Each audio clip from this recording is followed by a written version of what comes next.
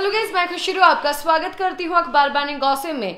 प्रतीक को अक्षरा की बात बोल के नेहा भसीन फंस चुकी है। तो चलिए हम आप लोगों को बताते हैं, ये लेटेस्ट अपडेट मेरे साथ लास्ट तक जुड़े रहिए। चैनल को ज़रूर सब्सक्राइब कीजिए बेल आइकन को दबाइए, इस वीडियो को लाइक कीजिए शेयर कीजिए।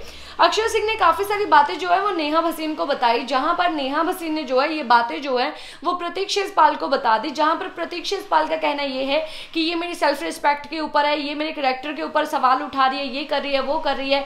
मैं आज बात नहीं करूँगा, मैं कल इसके साथ बात करूँगा, आज जो बर्थडे है, इसका मैं आज बात नहीं करूँगा। जहाँ पर नेहा भसीन जो है, वो ये ये चीज़ बोले जा रही है बार बार कि तू क्यों करेगा? मैंने तूने तूने मुझे बोला कि मैं बताऊँ। मैंने तुझे बताया। अभी तू जाके उसको क्यों पूछेगा? वो काफ़ी ज़्यादा डरी हुई, सहमी हुई है।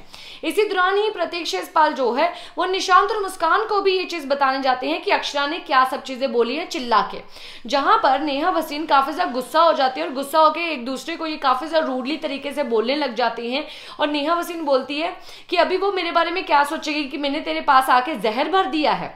तो अभी नेहा भसीन इस बात से डर रही है कि भाई जो अक्षरा और इसके बीच में जो बातें हुई, अभी नेहा भसीन ने प्रतीक को बता दी अभी प्रतीक जो है, वो कल जो है अक्षरा के साथ जाके लड़ाई करेगा कि ये सब चीज़ें जो है वो मुझे नेहा भसीन ने बताई है। तो अक्षरा उसके बारे में क्या चीज़ सोचेगी कि ये जहर भरती है प्रतीक के कानों में।